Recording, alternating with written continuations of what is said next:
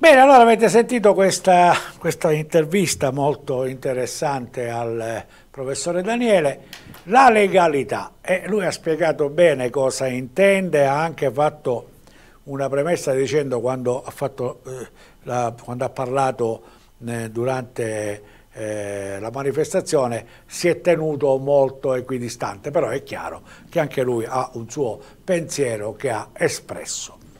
Eh, a proposito di legalità, eh, andiamo a parlare un attimo del Consiglio Comunale di Vittoria. Voi sapete che a Vittoria c'è un eh, momento molto caldo. Il Consiglio Comunale di ieri ancora non è stato caricato, siamo noi che eh, registriamo il Consiglio, lo mandiamo eh, nostre, sulla pagina YouTube di eh, Teliblea Rete Iblea.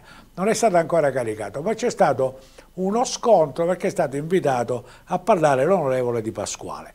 Eh, la verità è che a Vittoria, come vi dicevamo, c'è un momento molto difficile con il sindaco Aiello che eh, addirittura si parla di una mozione di sfiducia che sarebbe quasi pronta e che manca forse un, uno o due voti per poter eh, presentarla e farla passare. Quindi la politica si sta mobilitando per dare una mano all'onorevole Aiello che è un sindaco che ha molte molte qualità che però in questo momento trova grandi difficoltà a farsi capire che lui è un tipo diretto, le cose le dice, insomma forse ha fatto il sindaco tanti anni fa e, e non è più come una volta.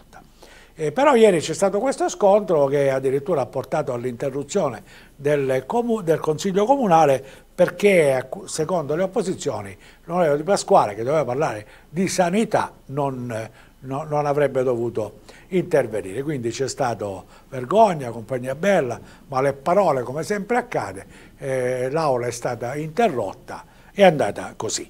Ne parleremo ancora, invece come ogni venerdì abbiamo il nostro ospite fisso Cesare Borghino. Vediamo.